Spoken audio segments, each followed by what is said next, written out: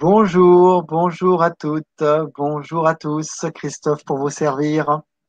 Eh bien, je suis ravi de vous accueillir ce soir pour cette conférence. J'ai le plaisir d'accueillir Ophélie Kaeva.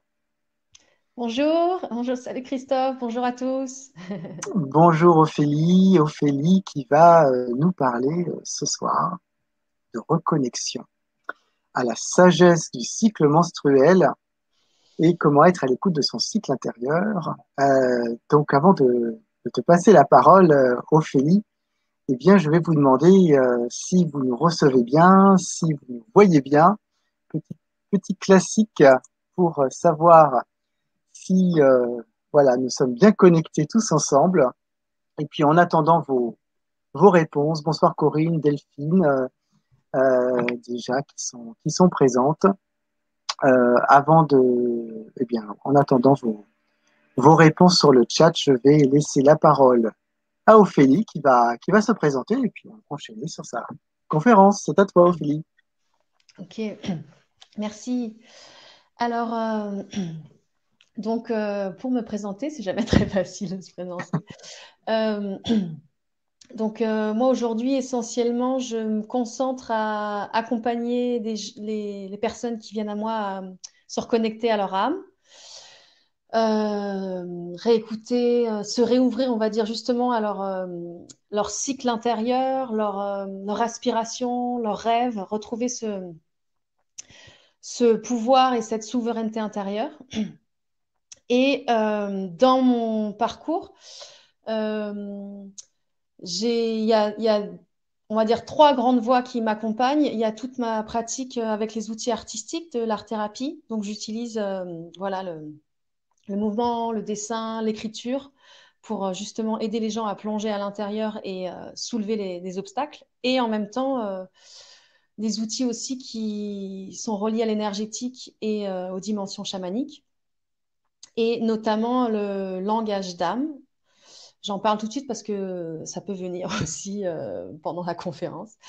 Euh, voilà les deux grandes voies qui m'ont qui m'ont et qui continuent de m'accompagner sur mon parcours euh, personnel, c'est la voie spirituelle amérindienne et une voie chamanique féminine que je dirais reliée au féminin sacré que j'ai découvert à partir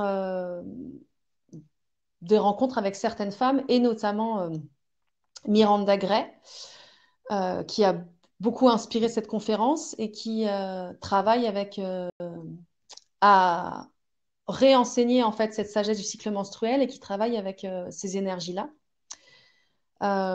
qui aussi m'a transmis un, un, soin énergétique qui s'appelle la bénédiction de l'utérus. Donc là, qui nous aide aussi à reconnecter à ce féminin à l'intérieur de nous ces dimensions féminines à l'intérieur de nous qui sont toujours là. On est, on est toujours euh, relié au féminin sacré, qu'on soit homme et femme.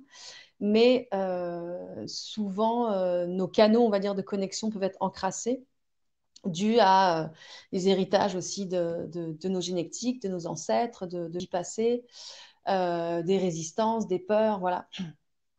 Et et donc ce soir, j'ai choisi de vous présenter euh, les quatre phases et donc les quatre archétypes du cycle menstruel. C'est euh, parce que quand j'ai redécouvert euh, cette sagesse-là, ces connaissances par rapport aux phases, en fait, ça a tellement transformé ma vie et la compréhension de, moi-même et de ce que je pouvais vivre chaque mois, avoir des choses qui se répétaient, que que j'ai vraiment senti c'était très important de le partager. Euh, d'abord pour les femmes, pour, euh, parce que plus on comprend, moins on est aussi euh, quelque part, comment dire, dépossédé ou possédé par ces énergies et donc dépossédé de, notre, de notre capacité en fait à aller avec. Et plus on comprend, plus on peut justement aller avec, voir les, les beautés de ces énergies, les cadeaux et aussi canaliser mieux en fait certains mouvements énergétiques. Et, euh, puis, euh, j'ai commencé à le partager donc en cercle de femmes. Et puis, au fur et à mesure du temps de, la création de ces cercles, j'ai plusieurs femmes qui venaient à moi et qui me disaient Bon, mais est-ce que tu peux l'expliquer aussi à nos compagnons? Parce que, en fait, c'est hyper clair quand tu me, que tu me l'expliques, mais j'arrive chez moi, j'arrive pas à, le partager à mes compagnons. Et, euh, donc, j'ai commencé à ouvrir des cercles mixtes. Parce que, évidemment, les hommes sont tout le temps en lien avec les femmes, surtout dans le couple, mais pas que. Euh, et ce qui, est très, ce qui était très intéressant, je, partage ça aussi avant de, parler de, voilà, du sujet à proprement parler, pour euh, que les hommes se sentent vraiment à leur, place. Parce que ce qui était très intéressant, c'est qu'à partir du moment où on a fait des cercles mixtes, euh, et ben, non seulement les hommes ont trouvé ça très enrichissant pour comprendre mieux la femme, mais ça leur a permis aussi de, de faire un, un, miroir sur eux-mêmes, en fait, une réflexion sur eux-mêmes et, euh, et, de laisser jaillir des questions, en fait, de, de, voir leur cycle, en fait, de voir aussi que eux aussi, ils étaient euh, changeants, pas forcément le même cycle, le même rythme, mais qui pouvaient se retrouver dans certains archétypes euh, définis ici. Et, et, voir surtout aussi ces ondulations au niveau de, de leur rythme, en fait, de ne pas pouvoir, de ne pas être tout le temps la même personne. Voilà. Et ce que je veux dire aussi, c'est que ce sujet du cycle menstruel, il me tient à cœur parce que je le relie complètement à tout mon travail, comme je disais, d'accompagner à se reconnecter davantage à son âme, à pouvoir vraiment euh, écouter plus son intérieur, en fait, parce qu'on a euh, un radar à l'intérieur de nous, de notre euh, corps physique et de nos corps euh, énergétique, émotionnel, spirituel. Euh, et que ces radars, en fait, nous envoient plein de signes justement pour nous guider sur notre chemin, sur nos chemins de vie, nos missions de vie. Et, et, mais, mais, et, donc, quelque part, on a tout le temps des guides avec nous, seulement nous n'avons pas été enseignés à écouter ça. Et notre, le modèle de société dans lequel on vit nous enseigne à suivre justement un rythme euh, très régulier, répétitif, qui n'est pas du tout euh, à l'écoute en fait de notre rythme, notre cycle personnel. Donc pour moi, quelque part, commencer euh, pour les femmes et pour les hommes à observer leur cycle et à se mettre à l'écoute de moi, comment je change, en fait, c'est déjà le, un début, en fait, un premier pas de, de retrouver sa souveraineté et de s'autoriser à, plonger à l'intérieur pour écouter ce radar, pour écouter cette âme, en fait, en nous. Voilà, comme petite introduction. Euh, donc, je, j'enseigne sur le sujet. tu peux, euh, si c'est OK. Je lance la, je lance la diapo, oui, très bien. Euh, juste préciser à, aux personnes qui sont présentes que donc Ophélie va, va, va, présenter, va faire sa présentation, puis ensuite il y aura un temps euh, de questions-réponses. Donc, euh, vous pouvez poser vos questions déjà dans le chat et puis on y répondra, on prendra ce temps-là à la fin de la présentation de Philippe pour répondre à vos questions. Voilà, je lance la diapo. Hop là.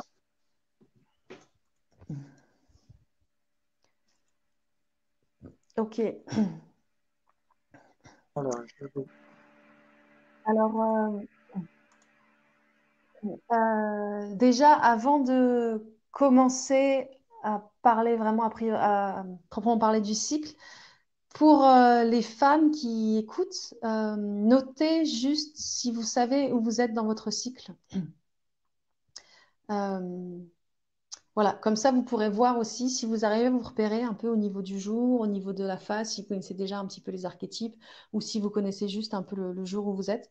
Notez et comme ça, vous allez pouvoir voir aussi si vous vous retrouvez dans la description de, de cette phase alors que vous y êtes.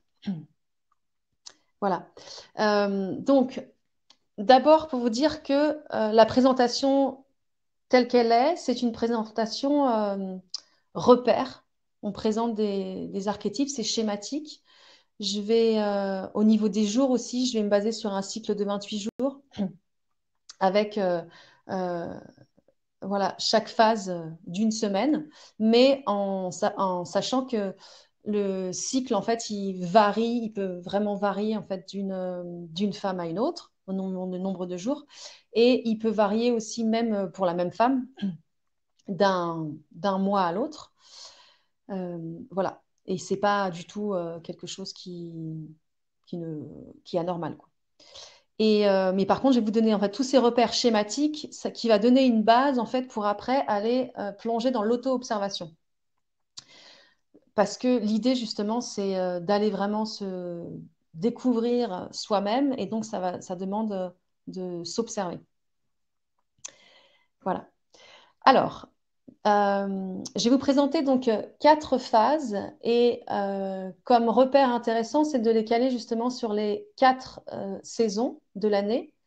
On va aussi les caler sur les quatre phases de la Lune et sur quatre temps de vie, quatre temps à l'échelle de quatre périodes différentes dans la vie de l'être humain.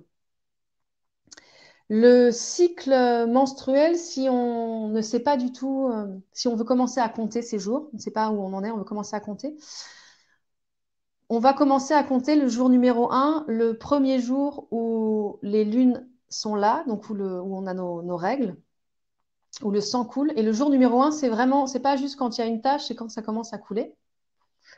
Euh, voilà. Et du coup, euh, au début, on commence par euh, compter les jours, comme ça, ça, aide pour pouvoir euh, repérer ces phases-là. Ensuite, après, plus on s'observe, plus on arrive à sentir à, l'intérieur de nous ces changements et, on n'a plus forcément besoin de compter. Et donc, le cycle, il va démarrer quand nos lunes sont là. Mais moi, je vais commencer à vous présenter en fait ce cycle-là à partir de juste après les lunes, juste, juste quand le sang a arrêté de couler. Voilà, moi j'utilise ce terme de lune pour, euh, pour parler des règles. Ok, donc tu vas pouvoir lancer le, le deuxième slide. Ok, donc cette euh, première phase que je vais commencer à vous décrire, c'est la phase de la Vierge. Sur euh, l'échelle de la vie, elle correspond à la phase de l'enfance et de l'adolescence. Elle, correspond à la saison du printemps. Euh, au niveau des jours, donc on compterait du 7e au 13e jour. Donc juste après que, les lunes aient arrêté de, couler. Et euh, ce serait le premier croissant de lune. Et ça correspond à la phase préovulatoire.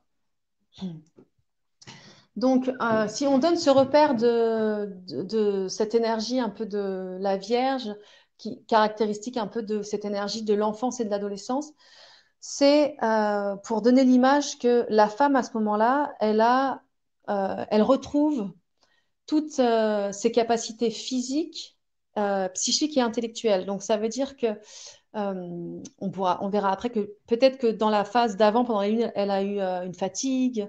Donc là, elle va retrouver en fait toute son énergie au niveau physique. Le corps aussi redevient plus svelte.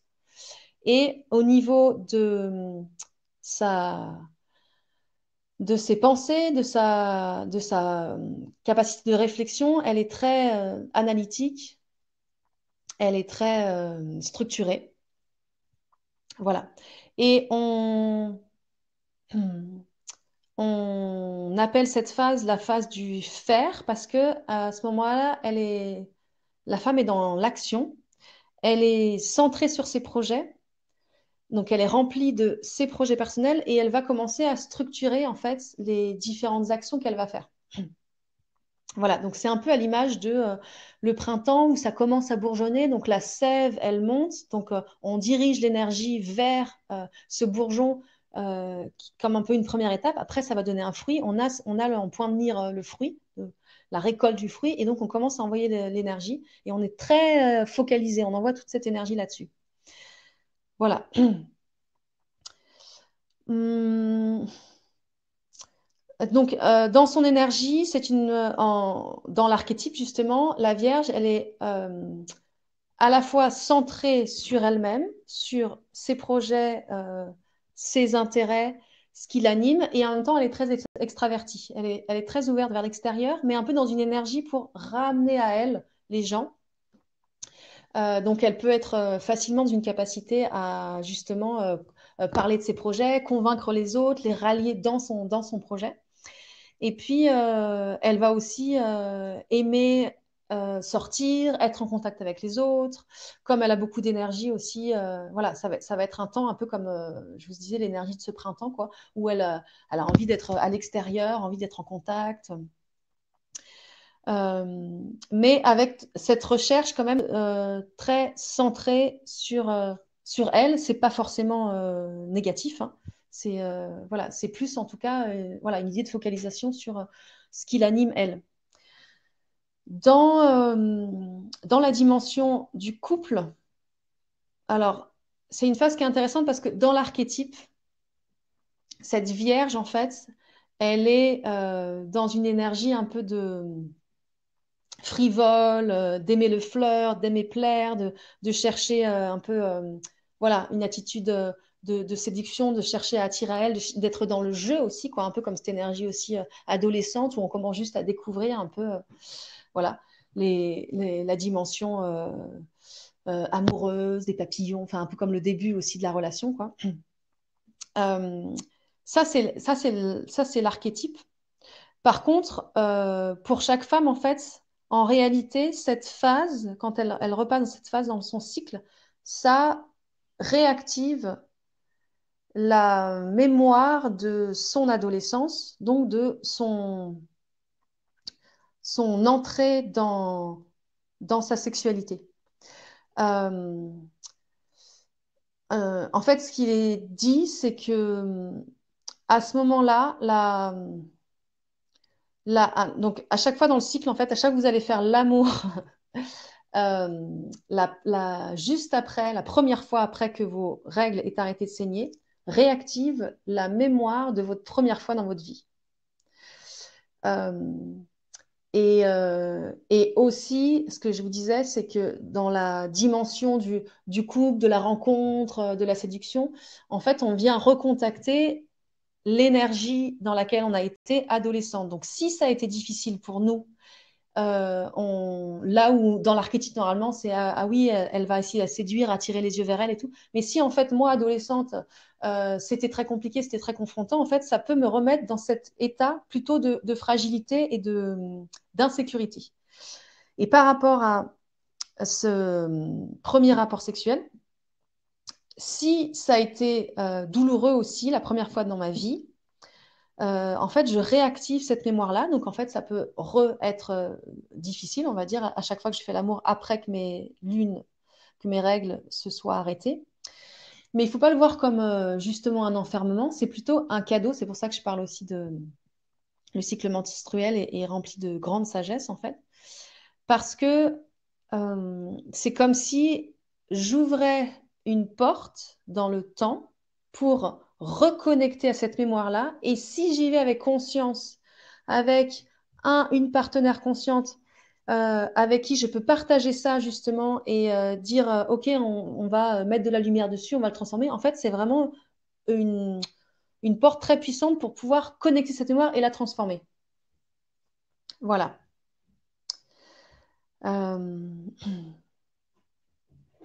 Donc voilà, dans ce qui pouvait paraître en fait douloureux, c'est un grand cadeau qui, s'ouvre à nous, comme souvent les choses euh, comme un peu tout dans la vie. si on arrive à les regarder avec euh, foi que l'univers nous amène les choses euh, pour une raison, parce qu'il y a un sens, et que parfois c'est pour les comprendre, les transformer ou les nettoyer, bah, on peut vraiment utiliser en fait ces, énergies qui sont là à ce moment précis, soutenantes. Voilà. je, vais, je vais continuer là la suite du cycle. Et n'hésitez pas si vous avez des questions, on, y reviendra après. Je préfère présenter tout le cycle, euh, voilà, donner les bases euh, entiers et après on revient euh, pour les questions. Alors, ensuite, on va arriver, on va grandir et passer, merci Christophe, à la phase de la mer. Donc, vous allez comprendre que toutes les phases, elles, s'enchaînent. C'est un, cycle où tout, voilà, on pourrait le prendre dans n'importe quel sens et tout se suit et, tout se. Ah, excusez-moi, j'ai du mal à trouver mes mots. Je suis en phase sorcière. Vous comprendrez après pourquoi c'est plus difficile d'expliquer les choses hyper clairement à ce moment-là. Euh, mais voilà, tout s'imbrique en fait. Et donc, la phase de la mère, c'est donc une prolongation de cette phase de la Vierge, où là, ça correspond à la saison de l'été, à la phase de la pleine lune. Euh, c'est entre le 14e et le 20e jour du cycle. Et euh, à l'échelle de la vie, ça correspond à la phase adulte, la phase euh, voilà, où, la, femme peut être mère. Et ça correspond à la phase d'ovulation dans le cycle. Alors, je reprends déjà tout de suite quand je dis la phase où la femme peut être mère. Euh, quand je parle de mère, c'est vraiment mère avec l'idée euh, pas juste de pouvoir porter un enfant, c'est pas euh, dès 13 ans on rentre dans cette phase. C'est quand on peut être à la fois mère au sens large aussi, mère responsable, mais aussi mère de ses projets en fait. C'est quand, c'est pour ça que ça relie à la phase adulte. C'est quand je, je quand dans ma vie, voilà, je me sens en capacité d'être, euh, euh, de prendre soin de moi, de prendre soin de ce que, de ce que je crée, de voilà, d'atteindre certaines autonomies, euh, en fonction aussi des périodes dans l'humanité, c'est pas toujours les mêmes âges. par exemple, bon, la génération de nos parents ou, ou deux générations au-dessus, c'était souvent vu vers 17-18 ans. Maintenant, cette phase-là, elle peut arriver beaucoup plus tard. voilà, où on se sent vraiment, euh, où on quitte le nid un peu familial et, on s'assume pleinement et on se sent en capacité de gérer notre vie. Et donc, euh, dans cette phase, la femme, elle a encore toutes euh, ses capacités aussi énergétiques, ses pleins potentiels, on va dire, au niveau physique, au niveau de, de son intellect aussi, de sa, réflexion intellectuelle, analytique, euh, claire, on va dire. Euh, donc, quelque part, les deux phases, en fait, vierge et mère, ce serait, euh, moi, j'appelle un peu ça les phases yang. Donc, très, très structurées et très lumineuses vers l'extérieur aussi, quoi. avec une certaine clarté analytique. Euh, et vous verrez, ce n'est pas, du tout un jugement euh, positif euh, ou négatif par rapport à, comment le, le, cerveau et la pensée peuvent changer dans les autres phases. Et donc dans cette phase-là, la femme, elle est toujours très sociable, très tournée vers l'extérieur. voilà, c'est aussi la saison de l'été, donc c'est très ouvert, c'est le, le, soleil brille aussi vers l'extérieur. Par contre, elle va, elle, est, elle continue donc ce qu'a posé la Vierge, donc elle va faire grandir les projets. La Vierge, elle avait posé en fait les premières étapes de ces projets. Elle, elle les fait grandir, donc à l'image de cet été où euh, on passe du bourgeon au fruit qui, mûrit. voilà. Et euh, c'est pour ça aussi qu'elle va changer un petit peu son axe, où la Vierge était très dynamique, très dans l'action, beaucoup voilà agir, il faut, avancer, il faut, que, il faut vraiment faire, faire, faire, faire pour que les choses euh, grandissent, apparaissent, jaillissent, se manifestent. La mère, en fait, euh, elle va pouvoir passer du faire à être parce que quelque part, c'est un peu comme, euh, moi je prends souvent l'image de la femme enceinte. elle, ça y est, la femme enceinte, elle a déjà été ensemencée quelque part. Et, euh, et du coup, elle n'a plus rien à faire. Elle sait que, à part euh, prendre soin, évidemment, de, s'offrir les nutriments, voilà, tout ce qui peut la nourrir elle et nourrir le, fœtus et le bébé, mais en fait, ça grandit tout seul. Donc là, la mère, elle, est dans cette conscience-là aussi qu'elle n'a plus besoin de faire, faire, faire. Elle a posé suffisamment pour euh, juste accompagner à grandir et laisser grandir. Donc, ça l'a fait changer son axe un peu et euh, du coup pouvoir s'ouvrir à euh, se tourner vers l'autre dans une forme plus de don, de soutien, d'écoute. Euh, elle va se rendre beaucoup plus naturellement, en fait, plus disponible pour l'autre. Et c'est pour ça aussi que c'est une phase qu'on appelle la phase du cœur ou de l'expression parce que elle va vraiment se mettre dans cet état de, de prendre le temps pour l'autre, de l'écouter et de chercher à le rencontrer en fait cœur à cœur, chercher vraiment intimement, profondément à le rencontrer. Et alors, dans la relation, dans la relation du couple et dans la dimension sexuelle, schématiquement, la phase de la Vierge et de la Mère, c'est des phases qui, ont un, qui, sont voilà, en cette énergie yang, donc avec cette énergie très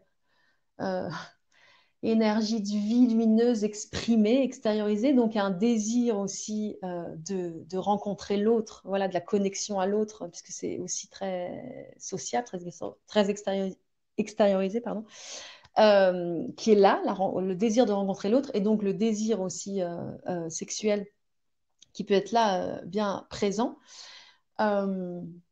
mais là où la Vierge bon, dans l'archétype, après, ça, comme je vous dis, ça dépend ce que vous avez vécu, elle va euh, tout de suite euh, chercher le flirt et peut-être euh, juste après un, flirt, vouloir tout de suite voilà, pousser, le, flirt à faire l'amour avec la, avec la personne rencontrée.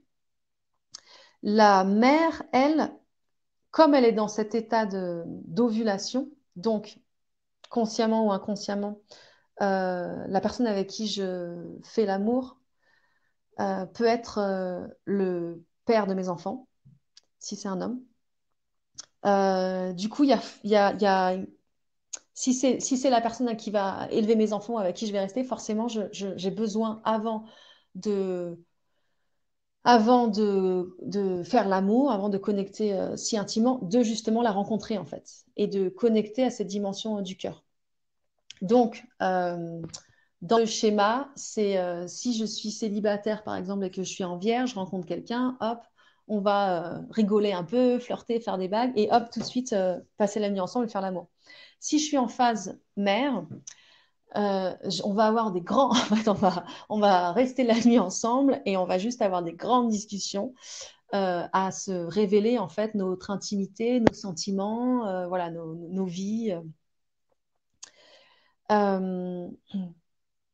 Aussi, dans, dans la sexualité, la Vierge, elle est vraiment à la recherche euh, du plaisir et euh, du plaisir un peu, euh, ce que je disais, du jeu, du fleur, du plaisir physique, de, son, propre plaisir à elle. la mère, elle est vraiment dans, le, elle est dans ce don, donc elle va d'abord chercher à donner du plaisir à l'autre, et c'est ça qui va aussi lui, voilà, participer à son propre plaisir. Elle a besoin de s'assurer que l'autre aussi euh, prenne ce plaisir. Voilà. Euh, et donc cette mère, je vous ai dit, un peu à l'image de la femme enceinte, en fait, elle se sent, euh, c'est parce qu'elle se sent remplie d'elle-même. Donc c'est ces états un peu où, où moi, je, le relie presque à un état vraiment euh, d'alignement aussi. Vous savez, quand on, se sent vraiment aligné à l'intérieur. Et euh, du coup, il y a quelque chose qui, qui est posé en nous, qui est calme. Et parce que euh, je me sens rempli de moi, je peux complètement être dans cet état disponible à l'autre d'écoute. parce que quelque part, ma tête, elle est vide, elle est disponible. J'ai pas besoin pendant que l'autre me parle de penser ah ouais il me dit ça mais moi moi je suis pas comme ça ou moi j'ai pas fait ça ou je devrais faire ça. Voilà, il y a un truc qui est vraiment calme et disposé.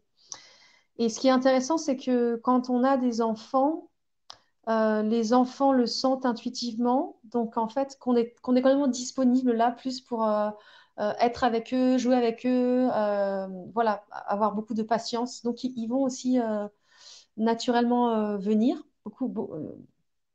Venir, c'est aussi cette phase, vous savez, on se dit, ah tiens, il faut que, il faut que j'appelle la famille, il faut que j'appelle ma tante, mon père, ou c'est des phases aussi très faciles pour, on a envie d'accueillir les gens, faire des grands repas, recevoir, voilà. dans cette phase-là, il y a comme un élan de, de rassembler, de voir les gens et puis d'accueillir facilement.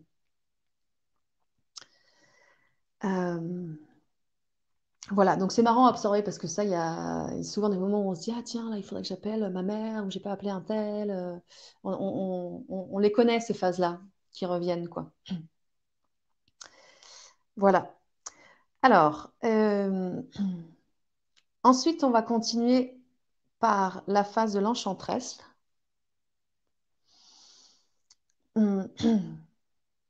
Donc, la phase de l'enchantresse, elle va correspondre euh, à la saison de l'automne. Elle va correspondre à la lune décroissante. C'est la phase prémenstruelle. Et euh, à l'échelle de la vie, c'est la phase qui commence après la ménopause. Et après, on date euh, jusqu'à à peu près 70, 75 ans. Bon, c'est toujours euh, très, voilà, ce que je vous dis, schématique, approximatif. À ce moment-là, dans, dans le cycle, euh, on va rentrer dans deux phases, justement, qui vont devenir beaucoup plus intériorisées, où, justement, je vous disais, en Vierge et en Mer, l'énergie était très rayonnante vers l'extérieur. Et là, petit à petit, en fait, l'énergie, elle va de plus en plus euh, revenir à l'intérieur. Donc, euh, la femme, elle, à ce moment-là, elle peut se, elle va petit à petit perdre son énergie physique, donc elle peut se sentir fatiguée.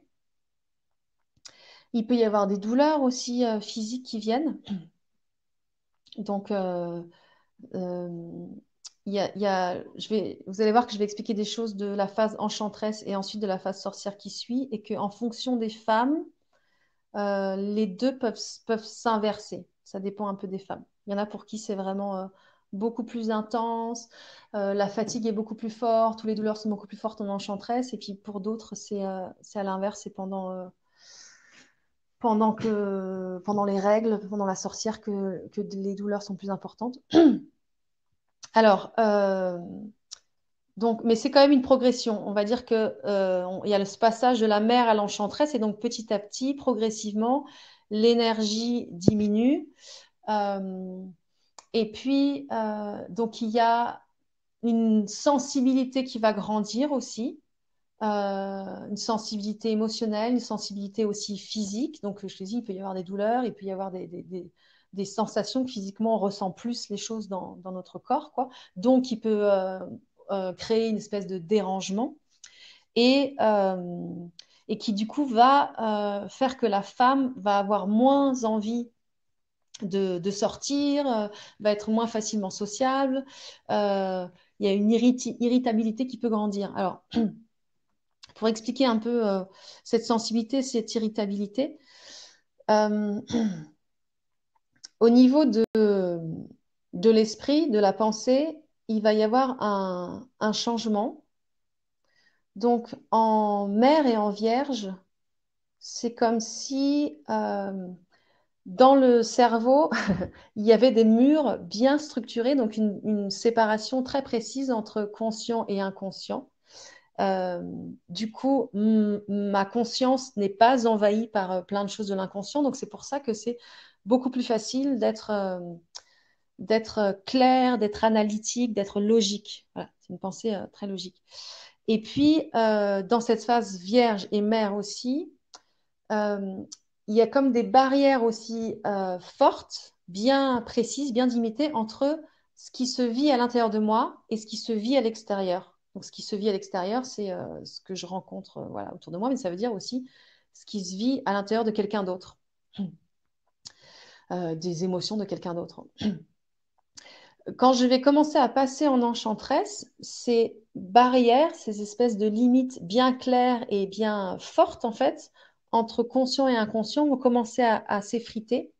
Donc c'est pour ça que petit à petit, en fait, euh, la femme, elle va avoir, euh, elle peut commencer à avoir des, rêveries et l'extérieur vont s'effriter aussi donc ça veut dire que euh, je vais ressentir petit à petit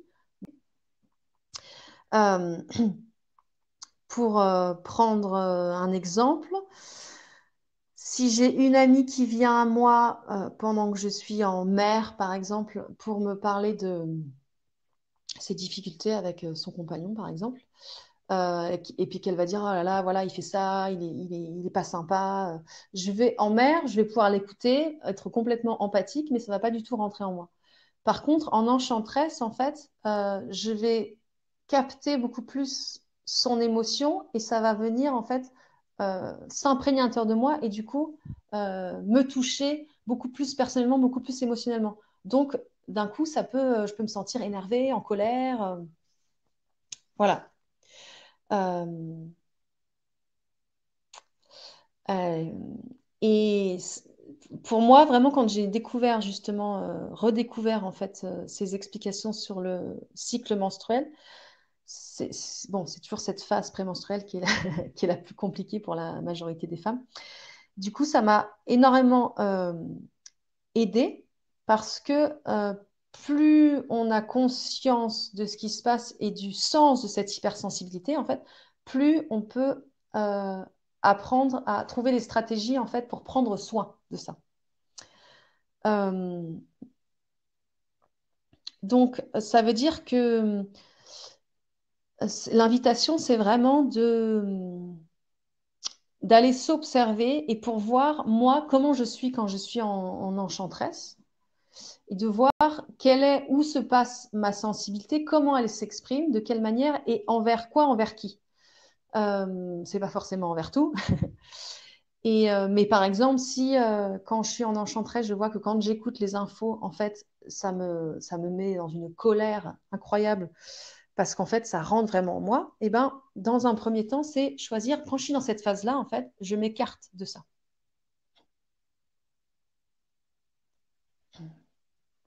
Euh, euh, ou si c'est euh, quelqu'un avec qui, voilà, une, amie que j'adore, mais je suis très, mais je suis très sensible, voilà, et quand elle me raconte des choses, en fait, ça va pas. Eh ben, c'est, je, je, reporte, en fait, je suis pas obligée de lui dire, mais en fait, je donne rendez-vous. J'attends d'être en sorcière pour vous donner rendez-vous, par exemple, ou d'être en vierge. Et alors, l'idée aussi, c'est que, en fait, on n'est pas enfermé dans un cycle qui nous paralyse et qui va faire que, que on doit tout le temps prendre ces stratégies de se couper des choses qui nous affectent.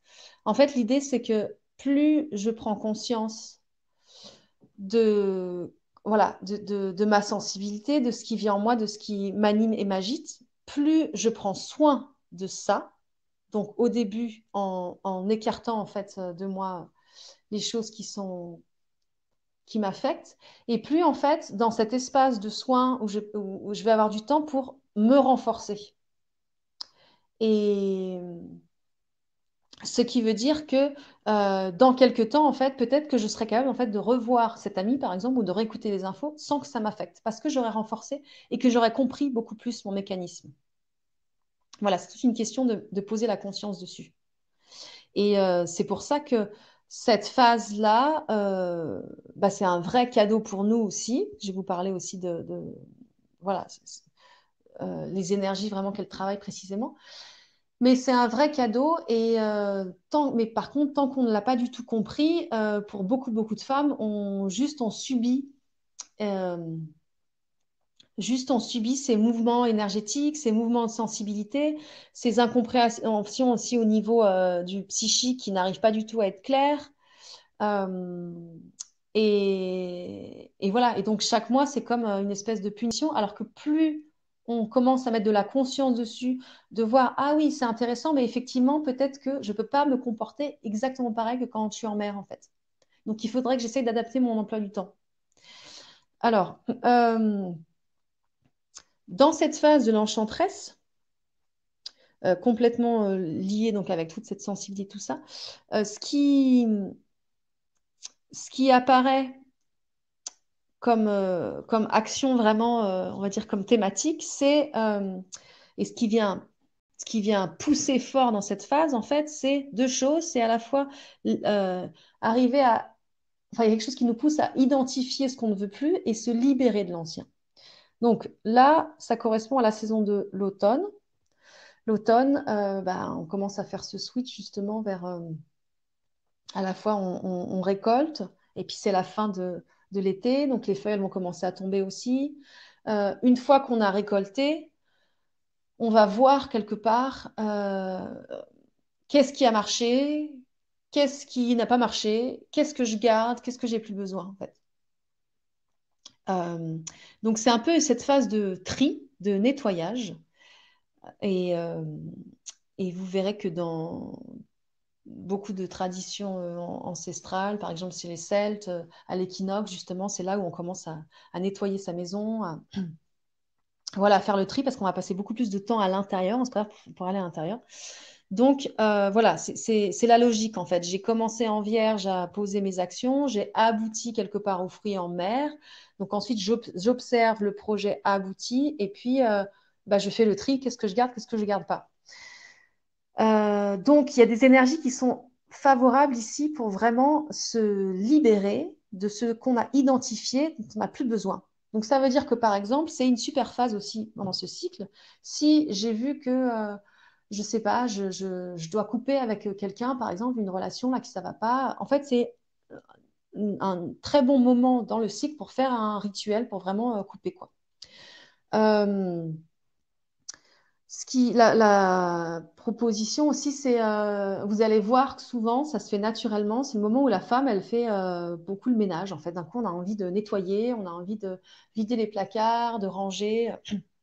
Donc, ça, c'est normal parce que voilà, intuitivement, c'est ce qui se passe à l'intérieur. Le, corps, l'esprit, il sait que c'est euh, une phase propice en fait à faire ce tri. Et du coup, euh, il enclenche quelque part les choses par lui-même. Aussi, euh, parce que cette phase, elle peut être difficile parce qu'en même temps qu'il y a une fatigue physique et psychique qui peut venir, il y a quand même une énergie qui bouillonne à l'intérieur qui, peut bouillonner, quoi, comme, un peu une espèce de, feu qui, qui, serait là. Euh, qui, qui peut s'exprimer aussi dans l'énergie sexuelle. Donc, la, la femme, à ce moment-là, elle peut soit ne pas avoir de désir du tout, enfin avoir l'impression qu'elle n'a pas de désir en fait, parce que petit à petit, en fait, elle, comme elle a cette euh, sensibilité qui rejaillit, en fait, euh, ça peut être très difficile pour elle de laisser quelqu'un rentrer dans cet espace d'intimité.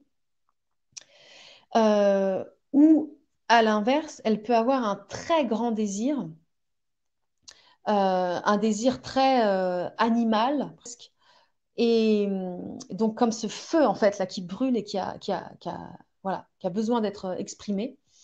Euh, et euh, ce désir, il peut être là aussi parce que effectivement, euh, il y a ce, feu qui est là et qu'en fait, qui a, qui a effectivement besoin de, de, de sortir, si vous voulez, de pouvoir s'exprimer.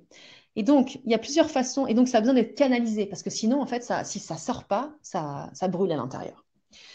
Euh, euh, elle appelle cette phase-là donc la phase de l'inconscient, et euh, c'est une phase qui est très créative, parce que justement, il y a euh, euh, ce que je vous ai, l'inconscient qui petit à petit rentre dans le conscient, donc avec toutes ces rêveries qui peuvent arriver, ces inspirations, ces images. Euh, et donc ce bouillonnement, il y, a, un véritable bouillonnement intérieur euh, d'inspiration d'idées, mais euh, il n'est pas facile à canaliser parce que c'est plus aussi logique, structuré. Donc, il y a plusieurs façons pour la femme de s'aider justement à, canaliser cela et à, et à, laisser exprimer en fait cette énergie. C'est à travers la sexualité, effectivement, à travers tous euh, les outils artistiques aussi créatifs. Voilà, de la danse, de la peinture, du chant, euh, de la cuisine, de, l'artisanat. Et, euh, et aussi à travers le, voilà, ce que je vous disais de trier, de ranger. Ça, ça va vraiment aider en fait la femme à, on va dire, canaliser cette énergie bouillonnante dans quelque chose, en le focalisant, pour que ce ne soit pas aussi destructeur.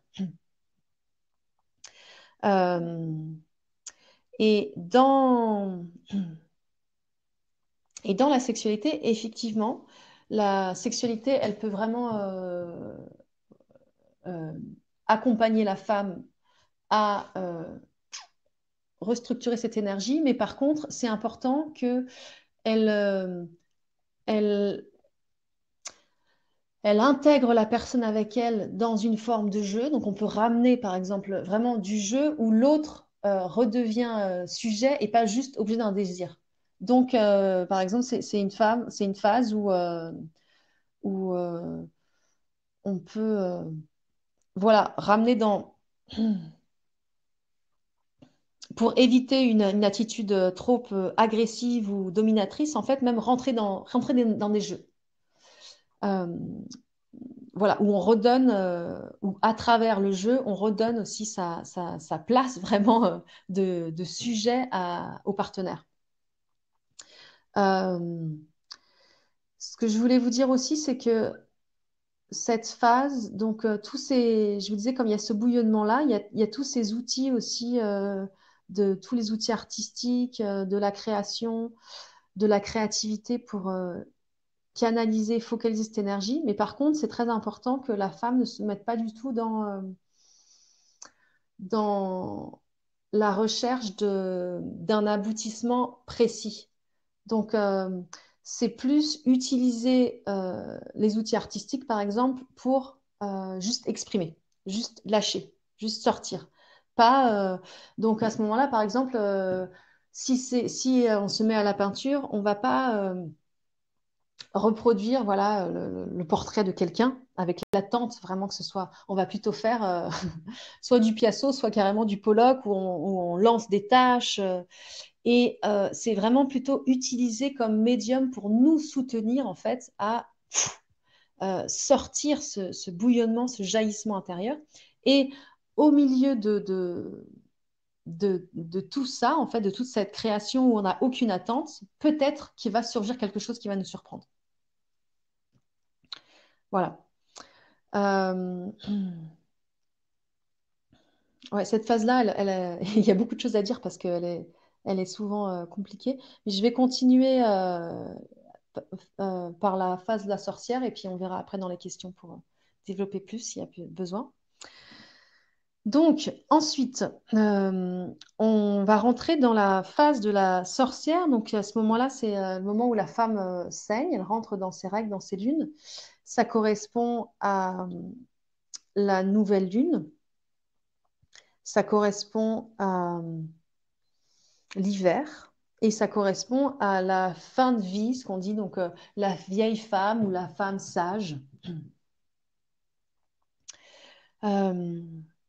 Euh, donc dans cette continuité en fait de l'enchantresse, en général dans la progression, la femme elle devient quand le ces lunes arrivent en fait, elle est euh, encore plus fatiguée au niveau physique en fait. Et puis, elle a euh, la sensibilité, alors pas forcément autant euh, irritable que, que l'enchanteresse au niveau émotionnel, mais par contre, elle a vraiment une grande envie un peu de plonger dans la grotte, donc euh, de s'écarter voilà, plus de l'extérieur. Et, et donc, naturellement, il y a un appel au repos. Et c'est complètement logique parce que c'est aussi en lien avec cette énergie de l'hiver où vraiment on rentre dans la grotte. Et et c'est la phase par excellence de, de la connexion à, l'âme. Euh, donc, c'est, si vous voulez, en fait, on est tout le temps en relié à notre âme, mais il y a un moment où justement les, les voiles, en fait, sont, pour, pour, euh, pour vraiment euh, toucher l'âme, sont beaucoup plus fins, où les, canaux sont beaucoup plus là, reliés, quoi. Et donc, c'est plus facile. Et euh, donc à ce moment-là, en fait, euh, euh, l'âme a vraiment envie de nous parler et va quelque part tout mettre en place au niveau du corps physique et du, psychisme pour pouvoir nous parler. Donc dans cette phase-là, c'est pour ça qu'il y a ce, désir naturel de retrait, qu'il y a aussi on peut rentrer vraiment dans des états de rêverie encore plus forts qu'en enchanteresse ou se sentir complètement euh, détaché quelque part de, de, des gens qui nous entourent, de la vie quotidienne, en fait, comme si on partait un peu plus euh, euh, voilà, dans, des plans, beaucoup plus d'autres dimensions. Et, et c'est la phase où on va connecter, identifier à ce qui est vraiment important pour nous à ces nouvelles graines, à ces, projets, en fait, mais euh, vraiment qui viennent de notre cœur, de notre âme. Euh, par rapport à ce que je peux dire par rapport aussi aux douleurs menstruelles, c'est que euh, il y, a, beaucoup de femmes qui partagent d'avoir des grosses douleurs pendant leurs règles. Mais en fait, à, euh, à 80%, ces douleurs, elles peuvent vraiment diminuer si simplement on arrive à changer un petit peu notre emploi du temps pour se reposer et prendre des temps juste euh, euh, calmes avec nous-mêmes. Et en fait, voilà, les, femmes ont, beaucoup de douleurs, notamment dans notre société présente, parce que euh, voilà, notre, société, pour l'instant, ne reconnaît pas euh, tellement euh, ce, cycle menstruel et nos cycles personnels en tant qu'hommes et femmes. Donc, ce besoin de, à des moments, par exemple, de ne pas aller travailler, de rester chez soi. Un exemple, par exemple, d'une femme qui est, dans ses, qui est dans ses lunes, on dit que si elle resterait chez elle, elle travaillerait beaucoup moins longtemps, mais en fait, elle serait beaucoup plus efficace parce que dans ce repos, on peut avoir voilà, les inspirations peuvent venir. Alors que si on est tout le temps en train d'être dans l'action, justement, euh, on ne peut pas entendre notre âme. En fait, pour, pour euh, l'âme va nous parler vraiment de, l'intérieur. On a besoin de couper avec euh, tout l'extérieur. Et, et si on est tout le temps en train d'agir pour les autres, de travailler pour faire ça, pour faire ça, pour faire ça, on n'a pas ce temps, en fait, d'écoute. Donc, du coup, comment quel est le moyen de l'âme pour faire en sorte qu'on se pose et qu'on l'écoute Quand on a des douleurs, des grosses douleurs, en fait, bah, on n'a pas le choix en fait que, que, de s'allonger et de s'arrêter. Et donc à ce moment-là, on peut commencer à l'écouter.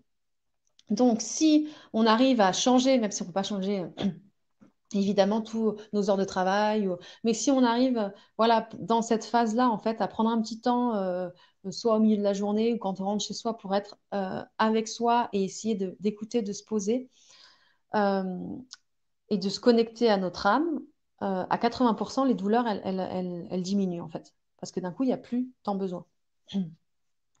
voilà. Et cette phase, elle est très précieuse. Bon, elles sont toutes précieuses, hein. mais cette phase, euh, moi je la vois vraiment comme très très précieuse, cette phase de la sorcière, parce que il y a une dimension de euh, mort-renaissance dedans, avec ce sang, donc souvent avec le sang qui coule, en fait, quelque part, il symbolise aussi euh, ce qui sort de nous, donc ce qu'on avait identifié en enchanteresse, dont on ne voulait plus. On se disait, bon, bah, c'est bon, maintenant j'ai plus besoin de ça, je me débarrasse de ça. Quelque part, il sort de mon corps avec ce sang qui sort. Et, euh, c'est pour ça qu'aussi, pour, euh, en général, euh, en enchanteresse, on a cette hypersensibilité, mais irritable, avec ce feu qui est là. Et quand on arrive en, sorcière, pendant nos lunes, il y a quelque chose qui lâche, en fait. Donc, du coup, la fatigue, elle est là, mais il y a comme quelque chose qui s'apaise aussi. Et donc, ce sang menstruel, il est très précieux parce que euh, à la fois, il représente donc cette dimension de la mort où, il symbolise ce que je laisse partir, voilà, et que je sors de moi. Mais en même temps, il représente aussi ces nouvelles graines que je vais planter, ces nouveaux projets, ces nouvelles inspirations que mon, âme a pu me souffler et que j'ai pu écouter en me posant. Et il faut savoir que le, sang menstruel, c'est euh, très très riche, c'est un engrais, un engrais euh, hyper riche il y a énormément de nutriments dedans. Donc, vous pouvez le, verser dans vos plantes. Euh, et, en fait, les plantes adorent ça. Il faut même le diluer dans, de l'eau tellement c'est riche. Donc, euh, il faut le diluer pour que ce soit pas trop fort, quoi. C'est euh, l'ortie intérieure du corps. et mais du coup, voilà, à l'image de, de, de ce que ça contient, de tous ces nutriments qu'elle contient, ce sang, en fait, il représente aussi ces nouvelles graines que qu'on plante, en fait. Et donc, euh, un petit rituel que moi, par exemple, j'adore faire, c'est euh, euh, je récupère mon sang et il y a une, je, verse, je le verse dans la terre et une partie, je le verse en demandant à la terre-mère d'absorber ce dont j'ai plus besoin, donc ce que j'ai conscientisé que je veux laisser partir. Et, et une autre partie, je le verse en, voilà, en demandant à la terre de m'aider en fait à planter ces nouvelles graines. Voilà. Et euh, dans la relation de couple et dans la sexualité, en fait, cette phase-là, euh, un peu comme, euh, comme ça peut être dans l'enchantresse aussi, en général, la femme peut, enfin la femme peut ne pas sentir a priori qu'elle n'a pas de désir, qu'elle n'a pas envie de faire l'amour, parce que justement, il y a, voilà, on est très relié à notre intériorité à notre âme. Donc aussi, on est dans des plans euh, très subtils. Donc c'est dur d'accueillir quelqu'un euh, qui peut-être vient avec une certaine densité, on va dire, euh, près de nous. et donc pour le ou la partenaire, en fait, il s'agit simplement de plutôt s'approcher et d'arriver à rassurer, à venir avec grande douceur, un truc cocon autour de, la femme, pour en fait qu'elle puisse s'ouvrir à s'abandonner et euh, quand on arrive à la faire s'abandonner, en fait, c'est un peu la phase par excellence de la, dimension sacrée de la sexualité. Euh, simplement parce que voilà, la femme étant reliée euh, vraiment à son âme, ben, on ne fait pas l'amour de la même façon. On peut vraiment ouvrir des portes en fait et aller connecter à des dimensions beaucoup plus subtiles. voilà, si on reprend sur l'échelle de, de la vie, ce sera une femme euh, âgée de 70, 80, 90 ans. Donc une femme qui fait l'amour à cet âge-là, elle fait plus l'amour euh, pour découvrir le plaisir euh, physique comme la Vierge qui, découvre juste la sexualité, quoi. Donc elle fait plus l'amour non plus comme la mère pour avoir un enfant. Et, et elle est plus dans cette énergie non plus euh, de feu, euh, de, jeu ou de vouloir euh, calmer quelque chose ou profiter encore de, ces derniers instants en fait de l'enchantresse là en ménopause, préménopause, de, voilà de, ce cycle-là, elle, elle, est déjà dans quelque chose de plus détaché, détaché, plus paisible. Donc si elle fait l'amour, c'est vraiment pour aller connecter à d'autres plans en fait plus subtils. Voilà, donc ça c'est pour éclaircir un peu, imager un peu cette cette phase du cycle. Euh, euh, je vais terminer là-dessus sur la présentation. Juste vous dire aussi que, en fait, ce cycle-là, euh, c'est une spirale, en fait. Donc, et Carl Gustav Jung, il disait qu'on avance dans notre vie en spirale, on n'avance pas en, ligne droite, on avance en spirale. Donc, ça veut dire que dans notre vie, à chaque fois, on revisite en fait des mêmes thématiques. Et euh, plein de fois, on se dit, oh là, j'ai encore, je reconfonds encore la même chose, j'en suis encore. Mais en fait, c'est pas, c'est pas, euh, je répète la même chose, c'est, euh, je revisite la même thématique, mais j'y vais soit avec plus de profondeur, soit avec plus de hauteur quelque part. Et en fait, dans ce cycle, si, si je n'ai pas conscience du lien entre ces phases, si par exemple la Vierge, en fait, elle n'a pas écouté la sorcière qui a récolté vraiment ces graines qui viennent de son âme, la Vierge, elle va commencer à euh, poser des actions, à, construire des choses, mais qui n'ont pas de racines dans l'âme. Donc, elle va, elle va construire des projets, en fait, qui, euh, voilà, qui, qui, sont pas très profonds ou très sensés pour son âme. Et si, par exemple, euh, l'enchantresse aussi, elle ne prend pas ce temps de vraiment se faire de l'espace faire ce tri, euh, observer cette énergie euh, feu en elle et trouver les stratégies pour la canaliser, pour justement faire ce tri, elle va pas avoir de l'espace pour pouvoir justement recevoir les nouvelles graines de la sorcière, parce qu'il n'y aura pas d'espace en fait. Et elle, va se traîner encore les vieilles casseroles. Donc, si elle fait pas le tri, les casseroles, elle les retourne, elle les retrouve le, le mois d'après en fait. Donc, quelque part, si on n'a pas du tout conscience de notre cycle et que on ne s'ouvre pas à lui et à aller avec, oui, on peut dire qu'on tourne en rond. Mais par contre, si euh, on prend ce temps d'écouter en fait les inspirations de mon âme, puis d'aller avec la Vierge, commencer à planter, et puis de, voilà d'accompagner la croissance et puis de faire ce tri à l'enchanteresse, en fait là, je vais avancer en spirale. comme je disais, soit en approfondissant les choses, soit en les faisant grandir, en prenant de la hauteur. Voilà, je vais m'arrêter là. Euh, je sais qu'il y a beaucoup d'infos et euh, j'espère aussi que ça a fait sens parce que voilà, je vous dis, je suis en, sorcière aujourd'hui et du coup, euh, à chaque fois, je le dis, quand vous avez des grands projets des présentations, quand vous connaissez votre cycle, essayez de le caler sur la phase vierge ou mère, comme ça, c'est beaucoup plus facile, vous êtes beaucoup plus logique, structuré.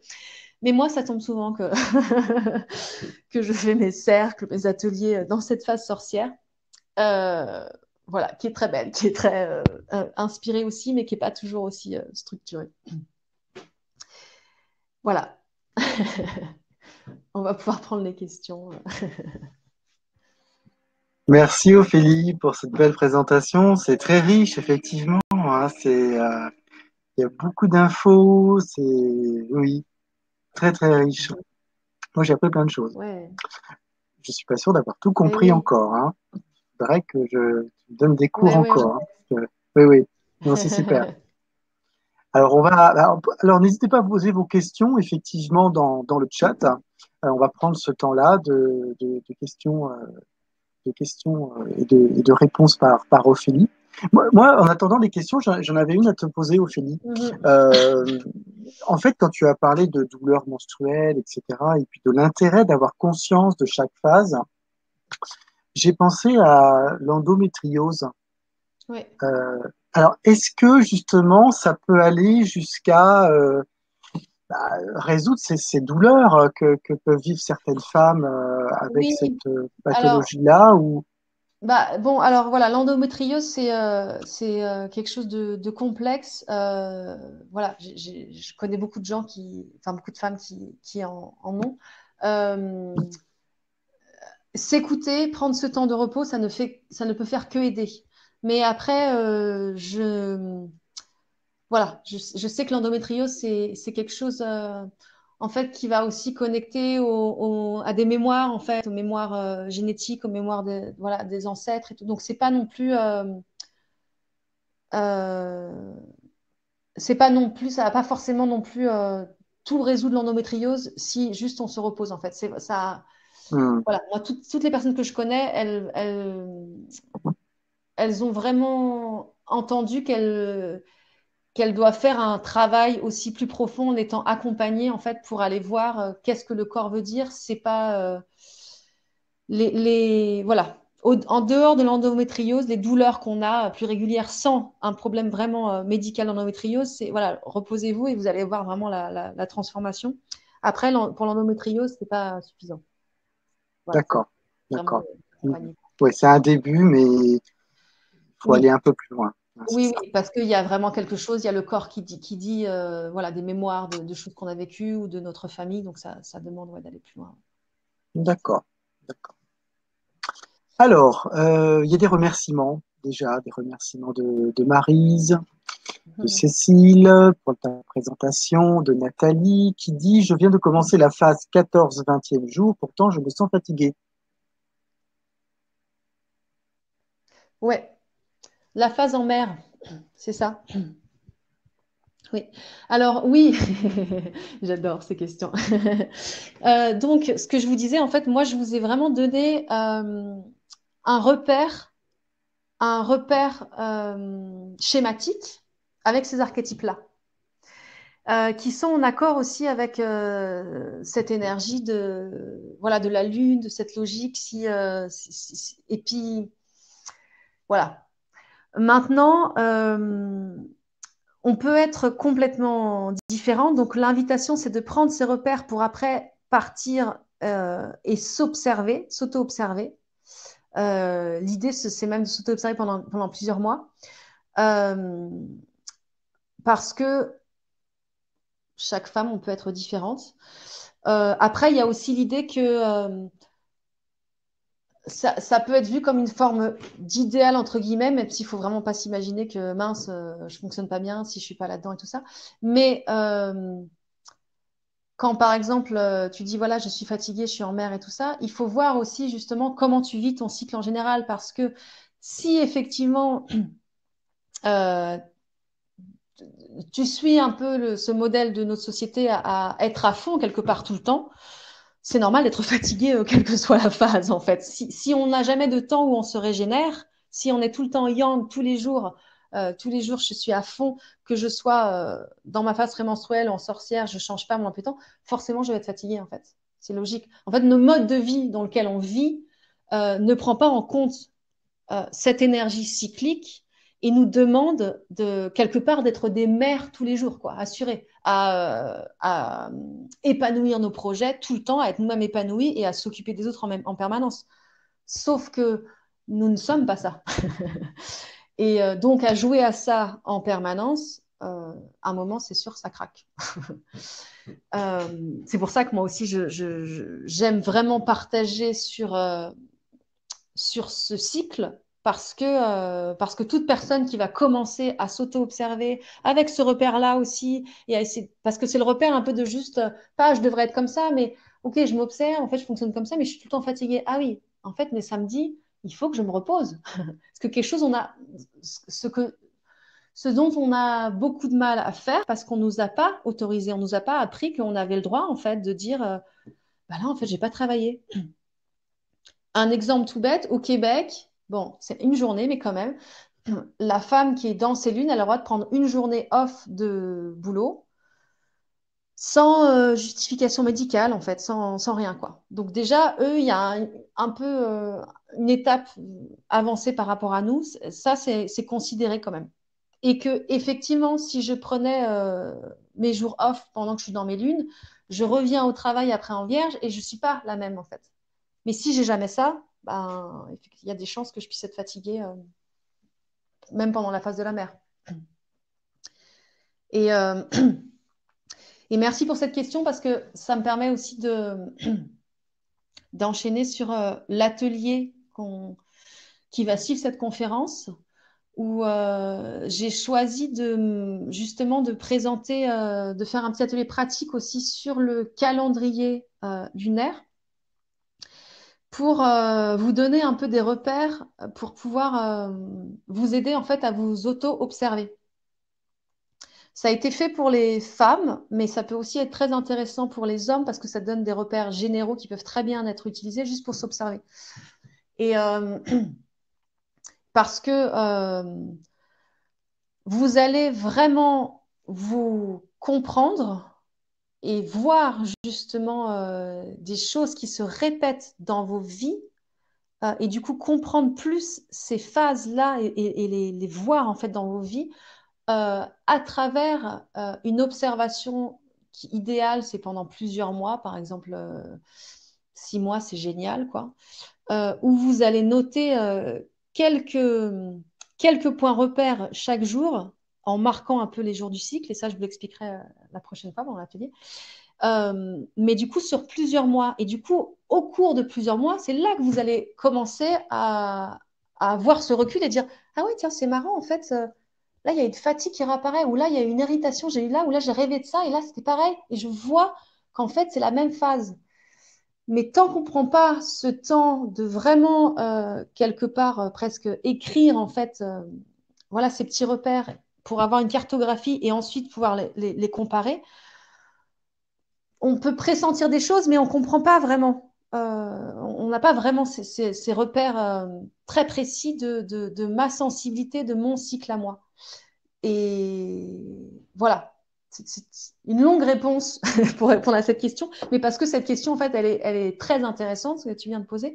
Et, euh, et en fait, je ne peux pas y répondre quelque part. En fait, je ne peux pas y répondre comme ça. Et, peut-être que toi aussi, ça te demanderait euh, d'observer là, quand tu es en mer, justement, les jours qui viennent, comment, comment tu agis, comment tu es, comment tu te sens et, comment et comment tu agis avec ça, en fait Parce que la majorité du temps, c'est Oh, je suis fatiguée, euh, ouais, mais en fait, je ne devrais pas l'être.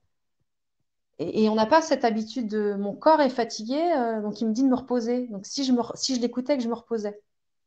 Voilà, donc il y a aussi observation de, de l'énergie et observation de ce que je fais aussi face à, face à ça. Voilà. Merci Ophélie pour cette réponse. Oui, j'en profite pour vous dire qu'effectivement l'offre est en ligne, donc si vous êtes intéressé, eh bien, il faut cliquer sur le petit bouton et vous aurez toutes les explications. Euh, atelier qui a lieu le mardi, euh, c'est mardi je crois, 6 octobre, si mes souvenirs sont bons, hein, à 20h. Voilà. Euh, alors, autre question. Anne-Sophie, comment savoir où on en est dans le cycle? Alors voilà, pour commencer, Ce que je disais, en fait, c'est on commence par compter. Aussi simple que ça. Le premier jour des lunes, le premier jour que le sang coule et, coule vraiment, pas juste euh, une toute petite tache euh, quand je m'essuie, quand le premier jour où le sang coule, c'est le jour 1. Donc, on commence comme ça. Tu comptes, après, tu, notes en fait jour 1. Euh, et, donc, avec ce schéma donc voilà, avec ce que je vous ai donné comme repère schématique, 1, euh, à 7, c'est euh, du jour 1 à 7, c'est euh, les jours des, lunes, la sorcière. 7 à 13, c'est la Vierge. 14 à 20, la mère. Et 21 à 28, l'enchanteresse. au début, tu comptes comme ça pour te donner ce repère. Et puis ensuite, tu vas vraiment en, t'observant et avec ce calendrier lunaire, par exemple, ou, en tout cas en essayant d'être vraiment euh, plus en plus attentif à toi, tu vas pouvoir euh, sentir les changements d'énergie parce que, en fait, c'est vrai que euh, en général, c'est pas une semaine chaque phase, en fait. Souvent, les lunes, ça dépend des femmes et des fois, c'est entre 3 et 7 jours. Souvent, c'est voilà, souvent, c'est moins que 7 jours.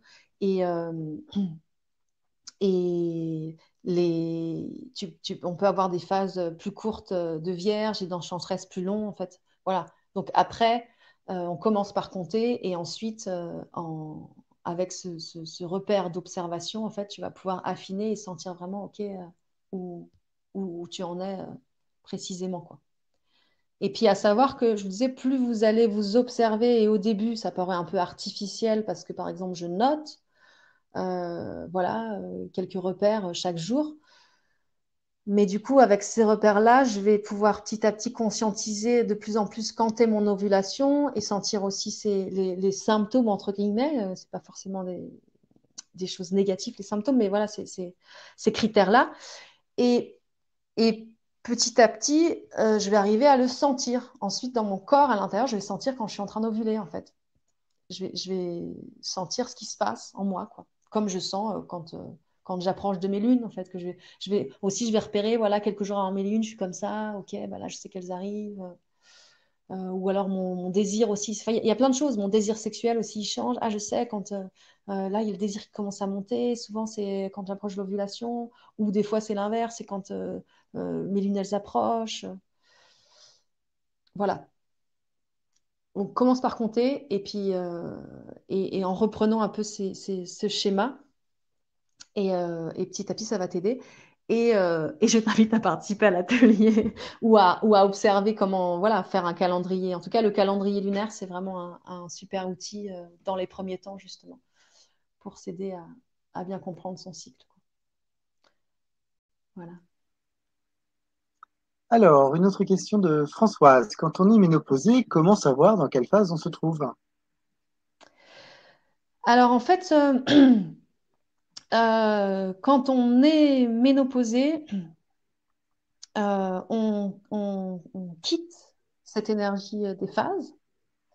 Miranda Gray, elle avait cette image de la lampe, en fait, d'une lampe avec un abat-jour carré et que du coup, euh, quand on est dans le cycle avant la ménopause, justement, on passe par euh, chacun des faces, chacune des faces de la lampe.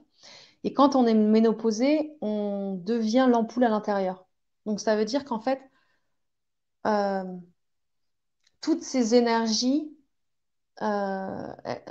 voilà, se retrouvent à l'intérieur de nous, mais on ne va plus vivre ces changements, en tout cas plus aussi forts. Euh, et, il y a, y a, voilà, c'est une autre, une autre phase de la vie. Euh, mais après, par contre, si on veut euh, quand même les utiliser et, voilà, recevoir un peu, on va dire, euh, les, énergies positives de ces phases et s'en servir un peu pour encore continuer avec la construction de, voilà, de, nettoyage, de, poser des projets, de les faire avancer. L'invitation, c'est d'observer la Lune et euh, d'ailleurs, pour toutes les femmes, en fait, euh, mais euh, voilà, pour vraiment se sentir connecté au, à cette énergie féminine, cette énergie lunaire, en fait, c'est le plus régulièrement possible d'observer la Lune et quelque part presque de se faire des, bains de Lune. Il y a des. Les Chinois, les taoïstes hein, font ça, faisaient ça et font ça, en fait, de, laisser aussi la lumière de la Lune pénétrer la glande pinéale, parce que, en fait, la glande enfin, voilà, à ce niveau, avec la glande pinéale, l'épiphyse et, l'hypophyse, euh, euh, elle gère tout notre système hormonal. Et euh, donc, la lumière de la Lune va venir impacter sur ces glandes qui vont avoir un impact après sur nos hormones. Et nos hormones ont un impact évidemment sur, sur notre énergie, comment on se sent, sur nos cycles. Et euh, du coup, si autant pour euh, la femme ménopausée qui, qui, qui, veut se relier à cette énergie euh, cyclique, d'observer vraiment le plus souvent la lune et de, voilà, de la regarder, en fait, d'essayer de, de, juste rentrer en elle et, et être à l'écoute de qu'est-ce que ça me fait, qu'est-ce que je ressens quand je suis en voilà, je suis dans l'énergie de la pleine lune, je suis dans l'énergie du premier croissant, du dernier, de la nouvelle lune? Et, euh, et aussi par rapport au... Je me permets de rebondir sur euh, nos cycles qui aujourd'hui euh, voilà, sont, varient, sont pas tous harmonisés, sont pas tous accordés sur le cycle de la Lune, où ancestralement, la majorité des femmes saignaient en même temps à la nouvelle Lune. C'est pour ça qu'il y avait ces, ces tentes rouges, ces moonloges qui étaient créés où elles se réunissaient ensemble et euh, parce que et en fait elles saignaient ensemble et elles avaient euh, euh, leur, les visions en fait. c'est à ce moment-là que la femme aussi elle reçoit beaucoup de visions, beaucoup d'intuitions. Donc on dit que la première qui avait fini une sortait de cette hutte et partageait les visions aux hommes, à toute, à toute la, la, communauté, la tribu, et que ça, ça avait un impact sur, sur les actions de la communauté entière, en fait, s'ils devaient euh, voilà, déménager, aller chasser. Euh, et aujourd'hui, euh, voilà, les, femmes ne saignent pas tout en même temps. Quand elles vivent ensemble, en général, voilà, on a tendance à voir que les femmes s'harmonisent. mais il y a beaucoup d'impact qui fait aussi que on s'est décalé, entre guillemets, du cycle lunaire et que, par exemple, on peut saigner à la pleine lune ou au premier croissant. Euh, euh, il y a voilà, beaucoup d'impacts qui fait que on, bon, un des premiers impacts, c'est qu'on est aussi beaucoup plus déconnecté de cette connexion directe à la nature, aux saisons et à la lune, quoi, donc de, la voir, de l'observer, d'être relié à elle, euh, et notamment par toutes les lumières artificielles, puis après l'alimentation, bon, euh, la pollution aussi euh, sonore, ce qui fait qu'on n'est pas autant en contact avec euh, ce rythme voilà, de la nature.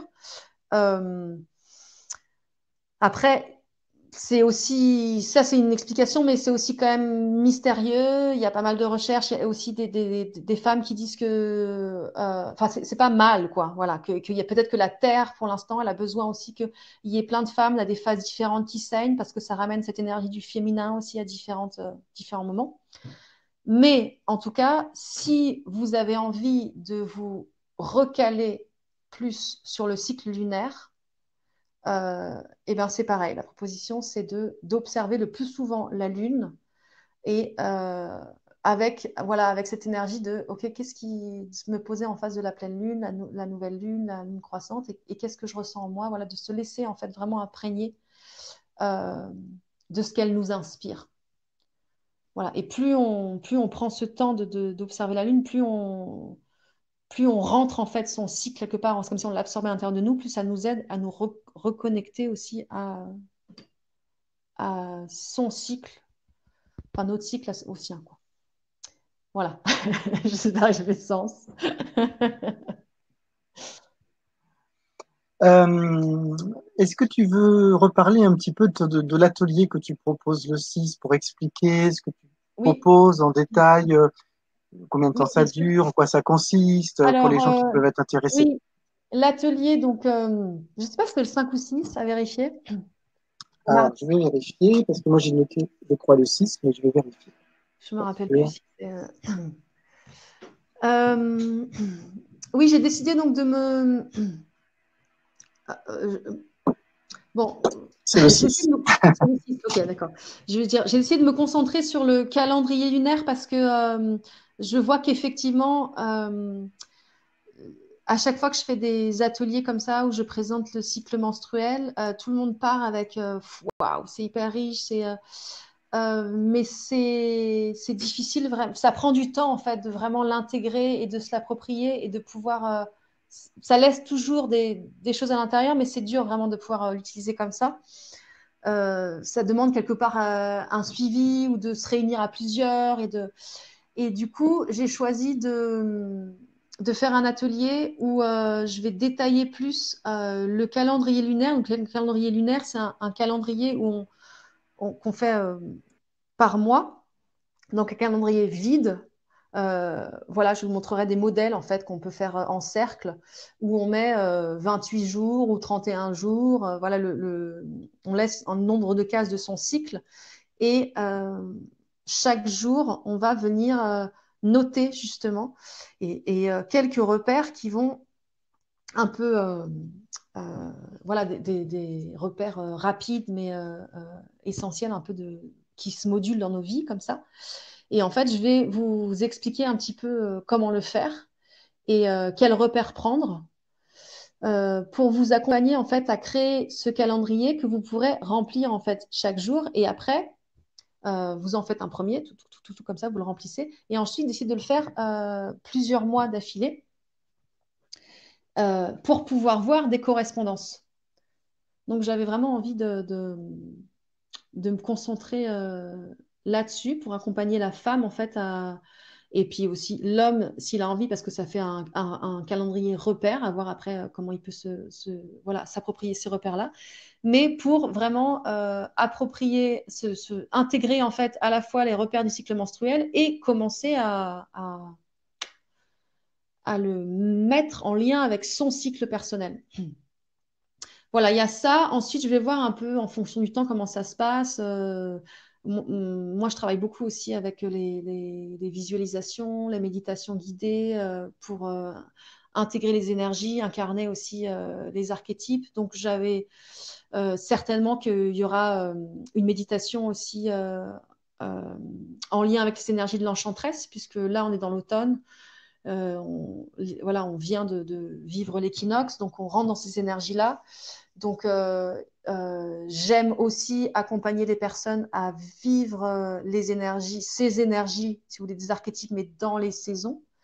Parce que c'est pareil, c'est il y a le cycle qui vit à l'intérieur de moi, il y a le cycle de la lune, il y a le cycle des saisons en lien avec le soleil. Et donc, plus on va petit à petit, quelque part, se reconnecter à ces cycles-là, euh, et plus en fait on, va pouvoir euh, se reconnecter à notre essence et quelque part euh, gagner vraiment en énergie soutenante pour nettoyer. Là, c'est la phase voilà, où on nettoie, où, on, évacue ce dont on n'a plus besoin.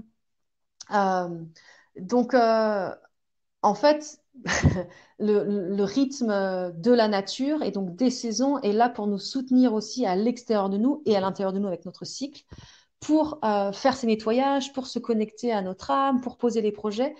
Euh, mais on les a beaucoup laissés de côté. Donc moi, j'aime je, travailler avec eux. Donc certainement qu'on fera aussi euh, un travail un peu, voilà, visualisation, méditation. accompagné du langage d'âme parce que parce qu'il vient tout le temps dans les dans les méditations et que du coup c'est des un langage ancien qui existait sur Terre avant et dont, dont le, les syllabes en fait sont des fréquences, envoient des sons qui euh, permettent euh, de soulever certains blocages et d'activer certains potentiels euh, à l'intérieur de soi. Donc, je ne l'avais pas forcément tout défini dans, dans, la présentation de l'atelier parce que je me laisse complètement guider aussi avec voilà, les énergies de chacun qui est là chacun, chacune qui est là. Euh, mais voilà, il y aura un, petit voyage euh, visualisation en, reliance avec la saison de l'automne, les énergies, les énergies de l'enchantresse, et, euh, et explication un peu pour arriver à créer ce calendrier lunaire et repartir avec quelque chose que chacun peut vraiment utiliser pour se découvrir un peu plus. Voilà. Merci Ophélie pour ces explications. Alors donc c'est mardi, le mardi 6 octobre à 20h, en direct, live.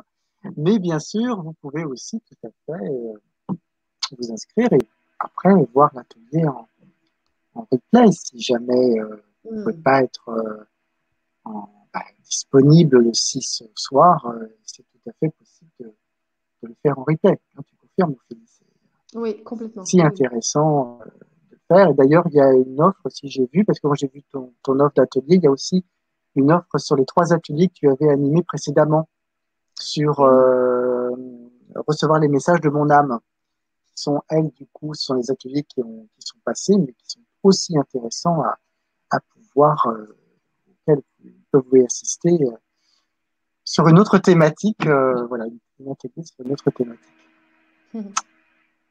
Alors, je regarde s'il y a encore quelques questions. Euh, non, il y a des échanges. Euh, Françoise, Delphine, effectivement, qui euh, Françoise qui te remercie et qui comprend mieux pourquoi elle est attirée par la Lune, par la nature depuis quelques années. Et Delphine semble confirmer. Voilà. bon, et eh bien, écoutez, je ne sais pas, je ne vois pas de questions supplémentaires. Donc, est-ce que Ophélie, tu serais d'accord pour pour arrêter la conférence aujourd'hui ou est-ce que tu veux euh, dire autre euh, chose peut-être euh, en fait, on peut rester trois heures ensemble, ça. on est d'accord, on est d'accord. Vous avez vu, hein, c'est un sujet que, j'adore et puis il y a tellement de voilà d'infos. mais je sais que c'est déjà beaucoup, donc j'ai pas envie d'en rajouter parce qu'après trop d'infos, on, on retient plus rien. L'info, oui. Voilà, trop d'infos, tu l'info. Euh, oui, voilà, je. c'est très bien, très bien. C'est déjà tellement, c'est déjà très riche ce que tu nous as apporté ce soir. Hmm. Et, euh, bien, voilà, encore une fois, pour, euh, pour ceux que ça intéresse, il y a cet atelier du 6 octobre. vous pouvez, vous prenez le temps d'y réfléchir, vous n'êtes pas obligé de ce soir. Vous allez recevoir le replay de cette conférence dans lequel vous aurez, euh, bah, vous pourrez revoir la conférence et vous pouvez également euh, vous inscrire à cet atelier. Voilà. Donc, euh, bah, Ophélie, merci beaucoup d'avoir été sur le canal de l'âme ce soir. Merci, avec grand plaisir. Merci à toi, Christophe, et merci à, tout le monde. Voilà. oui. Merci à tous, à toutes d'avoir été là ce soir avec nous. Et puis, c'est avec un grand plaisir que je vous retrouverai à l'occasion d'autres conférences. Vous savez qu'il y a deux conférences par semaine maintenant sur le canal de l'âme, donc euh, préparez euh, vos soirées. Il y a beaucoup de, choses à découvrir. Et puis si vous ne pouvez pas être euh, en direct, eh bien vous pouvez toujours voir ces conférences en replay. C'est avec grand plaisir qu'on vous retrouve toutes et tous. Merci encore Ophélie, je te souhaite une excellente soirée. Et puis une excellente soirée à tout le monde. Et à très bientôt. Puis nous on se retrouve, on se retrouve le 6. Hein. Oui. Et oui. Et j'espère que vous aussi, on vous retrouvera le 6. Je vous dis à très bientôt et une très belle soirée. Merci. Au revoir. Au revoir. Allez, au revoir à tout le monde.